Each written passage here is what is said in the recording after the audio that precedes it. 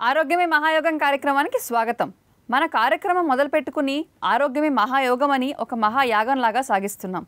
మరి అందుకే చిన్న చిన్న నొప్పుల దగ్గర నుంచి పెద్ద పెద్ద జబ్బుల వరకు కూడా ప్రకృతి వైద్య విధానాన్ని ఫాలో అయితే గనక వీటన్నిటి నుంచి బయటపడొచ్చని అవి రాకుండా నివారించవచ్చని మన ప్రకృతి వైద్య నిపుణులు డాక్టర్ మంతన గారు అంటూ ఉంటారు.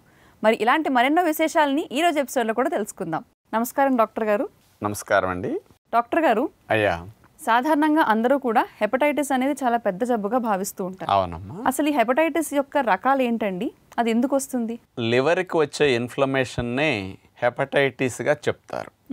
ఇది వైరస్ ఇన్ఫెక్షన్ వల్ల రావచ్చు. అంటే వైరస్ ద్వారా వస్తే hepatitis virus A hepatitis virus B.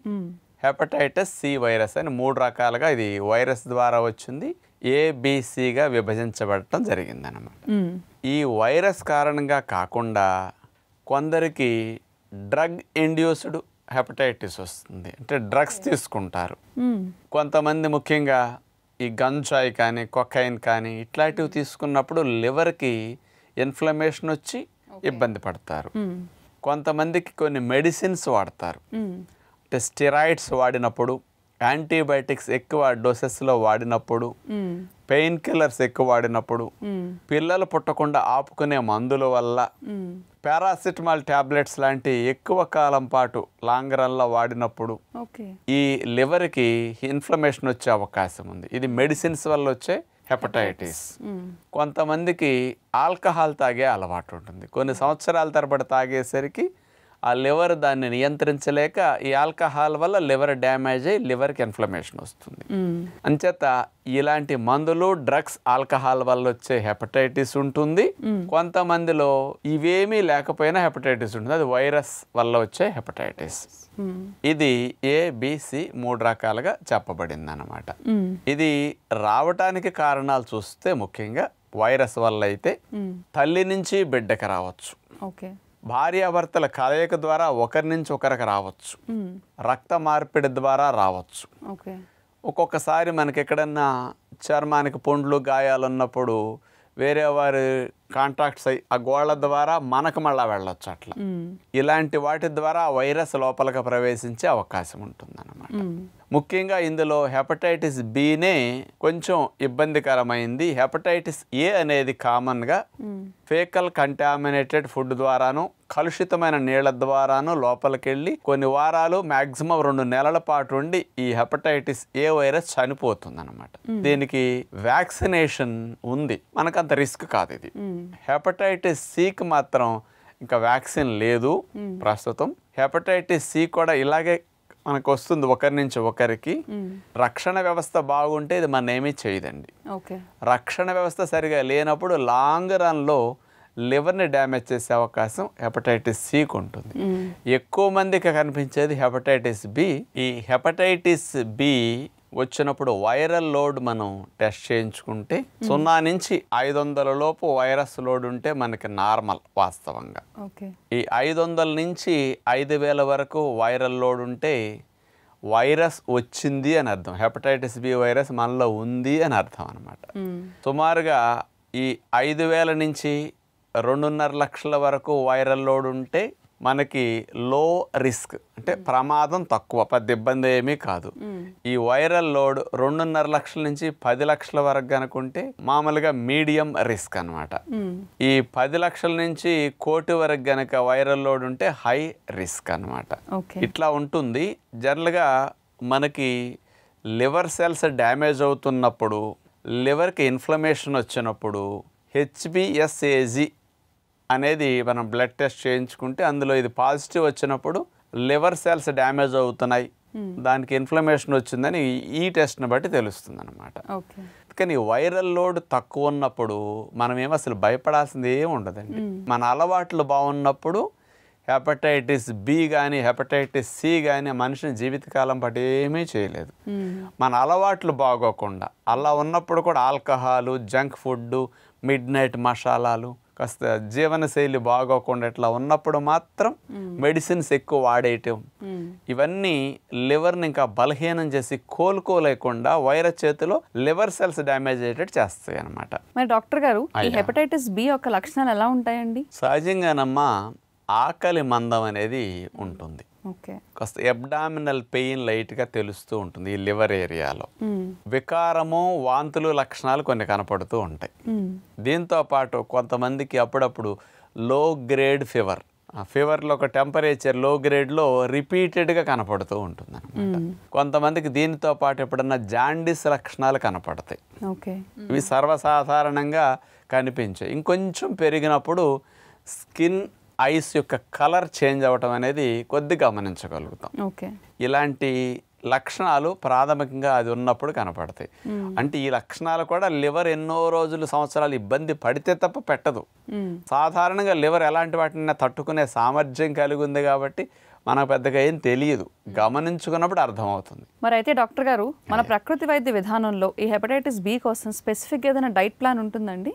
మన లివర్లో వచ్చిన ఈ వైరస్. వల్ల వచ్చిన ఇన్ఫ్లమేషన్ కానీ డ్రగ్స్ ఆల్కహాల్ వచ్చిన ఇన్ఫ్లమేషన్ కానీ. మనిషి మారితే మళ్ళా పూర్తిగా ఈ వైరస్ని లేకుండా పాజిటివ్ నుంచి నెగిటివ్ తెచ్చుకోవచ్చు ఓకే నార్మల్ లివర్ తయారు చేసుకోవచ్చు మ్మ్. మామూలుగా లివర్లో ఇమ్యూనోగ్లోబులిన్స్ అని ఒక రకమైన కణజాలం విడుదలవుతూ ఉంటాయి మ్మ్. ఇవి ఈ వైరస్ని చంపేయగలుగుతాయి. దీని మీద పరిశోధన చేసి ఇమ్యూనోగ్లోబులిన్స్ బాగా గనక ఉత్పత్తి అయితే మనలో ఈ వైరస్ మొత్తాన్ని నిర్మూలించి నార్మల్ అయిపోవచ్చు అని కూడా రెండు వేల పదమూడో సంవత్సరంలో బ్రెజిల్ దేశస్తుల పరిశోధన ద్వారా నిరూపించారు.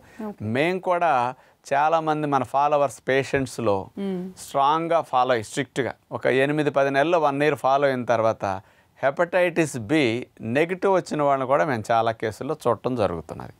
ఇమ్యూనిటీని పెంచే అలవాట్లు ఆహార నియమాలు మార్చుకున్నప్పుడు అసలు అది జబ్బే కాదని చెప్పొచ్చు. అందుకని ఫుడ్ అనే విషయానికి వస్తే వీళ్ళల్లో సహజంగా లివర్కి ఇన్ఫ్లమేషన్ వచ్చినప్పుడు ప్రోటీన్ డెఫిషియన్సీ ఉంటుంది.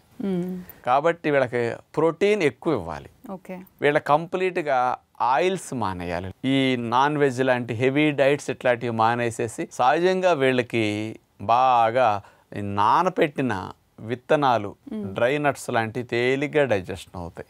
అందుకని మనం ఎప్పుడు చెప్పినట్టు సాయంకాలం వేళల్లో ఓ పది బాదం పప్పులు పది జీడిపప్పులు పది పిస్తా పప్పులు అన్ని కొద్ది కొద్దిగా ఇట్లాంటి పది పదిహేను నానపెట్టుకుని అవి ఎండు పండ్లు అంజీరా కిస్మిస్ ఎండు ద్రాక్ష ఇట్లాంటివి తినేసి ఫ్రూట్స్ లాంటివి తినొచ్చు అనమాట సిట్రస్ ఫ్రూట్ జ్యూస్ మంచిది లివర్కి ఎప్పుడు కూడా. మార్నింగ్ కూడా కొద్దిగా స్ప్రౌట్స్ కూడా బాగా పొడవ కట్టుకుంటే లేకపోతే మైక్రో గ్రెయిన్స్ అది చాలా ఫ్రీగా డైజెషన్ అవుతాయి. గ్రౌండ్ నట్స్ లాంటివి ఏమైనా ఉడకపెట్టినవి ఒట్టిగా అలాంటివి పెట్టుకుని తేలిగ్గా డైజెషన్ అవుతాయి అన్నమాట ఇక వీట్ గ్రాస్ జ్యూస్ కానీ లేకపోతే క్యారెట్ జ్యూస్ కానీ ఇలాంటి యాంటీ ఆక్సిడెంట్ జ్యూసులు మార్నింగ్ కూడా తీసుకోవచ్చు అనమాట ఈ మార్నింగ్ ఈవినింగ్ ఇలాంటి జ్యూసెస్ నట్స్ సలాడ్స్ ఫ్రూట్స్ లాంటివి న్యాచురల్ ఫుడ్ రెండు పూట్ల తీసుకుంటుంటే లివర్ సెల్స్ ఆ వైరస్ నుంచి కోలుకోవటానికి ఇలాంటి న్యూట్రిషియస్ డైట్ బాగా ఉపయోగపడుతుంది. అట్లాగే మధ్యాహ్నం పూట తినే ఆహారాలు మనం చెప్పినట్టు ఉప్పు నూనె లేని ఆహారం స్ట్రిక్ట్గా తింటూ నైట్ అస్సలు తినకపోవటం దీంతో పాటు వీక్లీ వన్స్ ఫాస్టింగ్ మనం చెప్పినట్టు చేస్తే liver twenty four hours repair cleaning చేసుకుని త్వరగా నార్మల్ అవుతుంది అనమాట ఇంకా టూ టైమ్స్ కూడా తినొచ్చు వీళ్ళు కావాలంటే. మార్నింగ్ టెన్ ఈవినింగ్ ఫైవ్కి ఇంటర్మీడియట్ ఫాస్టింగ్ అని మనం చెప్పామే. అలా చేయటం కూడా ఇంకా మంచిది. బయట స్వీట్లు హాట్లు నూనెలో దేవిని జంక్ ఫుడ్స్ మానేసి ఇలా చేస్తే మీరు భయం లేకుండా హెపటైటిస్ బి నుంచి కూడా తేలిగ్గా బయటపడతారనమాట విన్నారు కదండి? డాక్టర్ గారు హెపటైటిస్ ఎందుకు వస్తుంది? అది మనలో ఉన్న లివర్ని ఎలా ఎఫెక్ట్ చేస్తుంది అనే విషయంపై ఎంతో విశ్లేషణ అందించారు. మరి అందుకే డాక్టర్గా చెప్పిన ఈ సలహాలని సూచనల్ని పాటిస్తూ హెపటైటిస్ బి రాకుండా నివారించుకునేలాగా ఒక డైట్ ప్లాన్ వేసుకోండి. వచ్చిన వాళ్ళు కూడా ప్రోటీన్ రిచ్గా తేలిగ్గా అరిగేవి తింటే కనుక హెపటైటిస్ బి నుంచి త్వరగా తగ్గించుకునే అవకాశం ఉంటుంది. డాక్టర్ గారు కొలెస్ట్రాల్ సంబంధించి కొలెస్ట్రాల్ తగ్గాలంటే కనుక ఏమైనా ఆసనాలు ఉంటాయండి? వ్యాయామం చేయని వారికి అంటే ఆసనాలు ఎక్సర్సైజులు ఆటలు ఇట్లాంటివి ఏమీ లేని వారికి బ్యాడ్ కొలెస్ట్రాల్ పెరుగుతుంది గుడ్ కొలెస్ట్రాల్ తగ్గిపోతుంది. ఎక్సర్సైజులు బాగా చేసేవారికి ఆసనాలు బాగా చేసేవారికి గుడ్ కొలెస్ట్రాల్ పెరిగి బ్యాడ్ తగ్గుతుంది. ఓకే. ఆసనాలన్నీ కూడా గుడ్ కొలెస్ట్రాల్ని పెంచడానికి ఉపయోగపడితే మనలో బ్యాడ్ కొలెస్ట్రాల్ని తగ్గేటట్టు చేస్తాయి అన్నమాట అలాంటి రెండు ఆసనాలు ఇప్పుడు చూపిస్తాను చూడండి.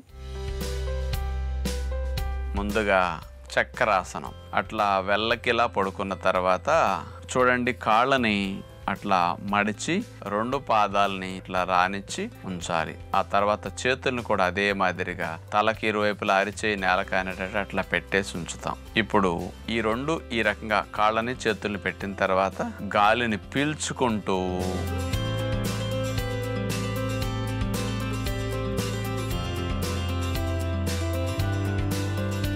నడుమును అట్లా పైకి లిఫ్ట్ చేస్తాం. శరీరం అట్లా ఎంతవరకు వంచి మనం లేపగలిగితే ఆ రకంగా లేపొంచాలి.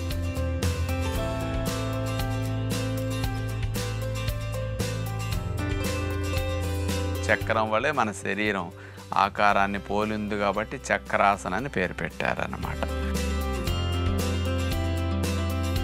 ఈ చక్రాసనంలో అట్లా ఉండగలనంతసేపు ఉన్న తర్వాత మెల్లగా వీపు భాగాన్ని అట్లా నేల కానిచ్చేస్తాం చేతులు తీసి చాపేసుకుని కాళ్ళు చాపేసి హాయిగా శవాసనంలో రిలాక్స్ అవుతాం.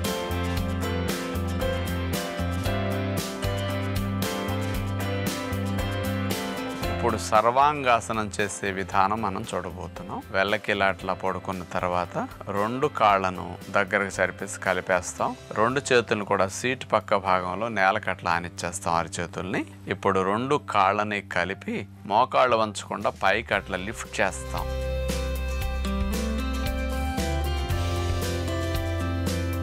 ఆ తర్వాత మోకాళ్ళ దగ్గర కొద్దిగా బెండ్ చేసి సీటు భాగాన్ని కూడా పైకి గాలిని పీల్చుకుంటూ లేపుతాం. చేతులు వేళ్ళు అట్ట సపోర్ట్ పెట్టి ఆ తరువాత భుజాల భాగం నుంచి పాదాల వరకు స్ట్రైట్గా నైంటీ డిగ్రీస్లో శరీరం వచ్చేటట్లుగా మనం అలాగే కదలకుండా ఉండాలి. ఇట్లా రెండు మూడు నిమిషాలు నాలుగు నిమిషాలు ఉండటం చాలా మంచిదన్నమాట.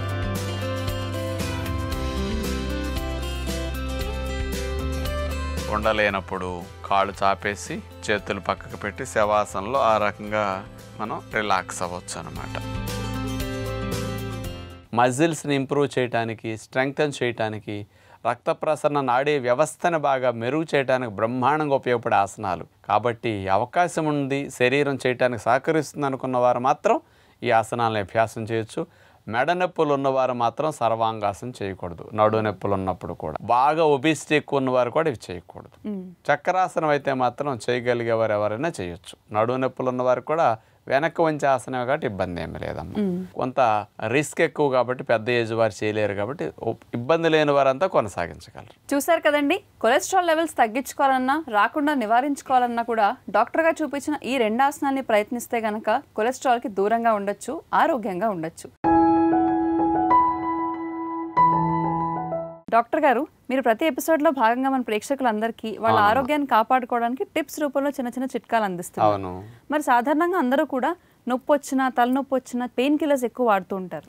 అలాంటి పెయిన్ కిల్లర్స్ వాడడం వల్ల లివర్ పాడవుతుందని మీరు ఇందాకే చెప్పారు. మరి అందుకే ఈ పెయిన్స్ని అరికట్టడానికి ఏదైనా టిప్ ఉంటుందండి? ఉంటుందమ్మా. న్యాచురల్ పెయిన్ కిల్లర్ ఆయిల్స్ ఉంటాయి. అలాంటి ఆయిల్ పేరు పెప్పర్మెంట్ ఆయిల్. ఓకే. పుదీనా మీ అందరికీ తెలుసు. పుదీనా నుంచి తీసే ఆయిలే పెప్పర్మెంట్ ఆయిల్. అలాంటి పెప్పర్మెంట్ ఆయిల్ తీసుకుని అందులో అంత ముద్ద కర్పూరం మంచి క్వాలిటీ తెచ్చుకోవాలి మీరు. అది వేసేస్తే పెప్పర్మెంట్ ఆయిల్ వేసిన వెంటనే ఇది కరిగిపోతుందండి. కరిగిన తర్వాత ఆ పెప్పర్మెంట్ ఆయిల్ని రెండు చుక్కలు అట్లా మూడు చుక్కలు తీసుకుని ఎక్కడన్నా నొప్పి ఉన్న చోట మజిల్ పెయిన్స్ ఉన్న చోట ఆ భాగం మీద కాస్త లైట్గా అట్లా మర్దం చేసుకుంటూ పాముతూ ఉంటే చేత్తో ఆ న్యాచురల్గా ఆ భాగంలో పెయిన్ తగ్గుతుంది అనమాట కాళ్ళ దగ్గర ఉన్న ఎక్కడన్నా భుజాలు జబ్బలు కాస్త కండరాల నొప్పులు ఎక్కడ ఉన్నప్పుడు అట్లా చేసుకోవచ్చు. దీంతో పాటు ఎవరికైనా కాస్త ఒక్కొక్కసారి తలనొప్పి మాడి నొప్పి ఇట్లా అనిపిస్తూ ఉంటాయి. ఆ భాగం మీద కూడా అట్లా ఒకటి రెండు చుక్కల ఆయిల్ అట్లా కర్పూరంతో రాసింది అట్లా రాసుకుని పది నిమిషాలు అట్లా చేసుకుంటే చక్కగా ఉపశమనం వచ్చేస్తుంది అనమాట ఎప్పుడన్నా ముక్కు బ్లాక్ అయినప్పుడు కూడా ఈ కర్పూరం పెప్పర్మెంట్ ఆయిల్ కలిపింది అట్లా వాసన అట్లా దగ్గర పెట్టి బాగా పీలుస్తుంటే కూడా వెంటనే శ్వాస ఫ్రీ అవుతుంది. బ్లాకేజ్ కూడా తగ్గి మీకు హాయిగా అనిపిస్తుంది అనమాట అంచేత ఇలాంటి వాటికి ఈ రెండిటి కాంబినేషన్ చాలా బాగుంటుంది కాబట్టి ట్రై చేయండి. ఈ రెండిటిని కలిపి ఒక దాంట్లో ఉంచుకుని దాన్ని అప్లై చేసుకోవచ్చు అనమాట